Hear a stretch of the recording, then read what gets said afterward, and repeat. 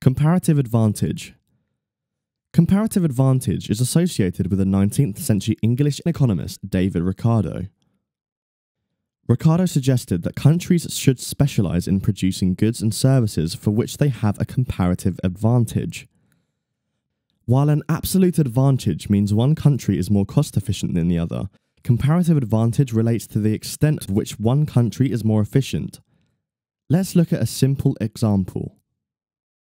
Consider two countries producing only two goods, milk or sugar.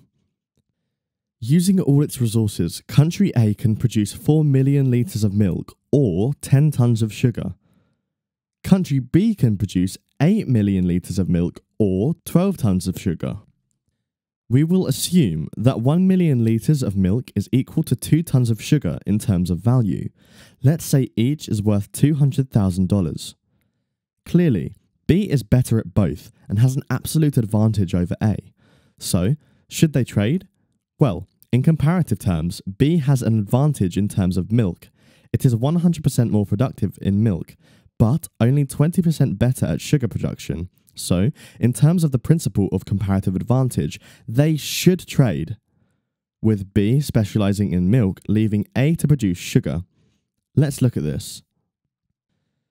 The chart shows that if they specialize and then trade, world output would be 18 units. However, if they divide up their resources to produce both, then total output would be 17 units.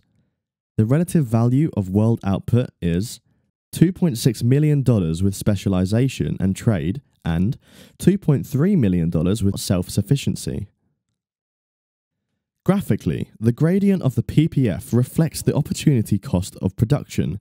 Different gradients mean different opportunity cost ratios, and hence specialization and trade will be beneficial.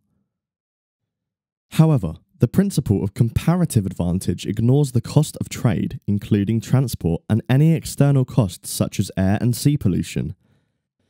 It also assumes perfect mobility of factors and no diminishing returns, unlikely in practice as there may be barriers to entry for labour and producers. Specialization might create structural unemployment as some workers cannot transfer between sectors.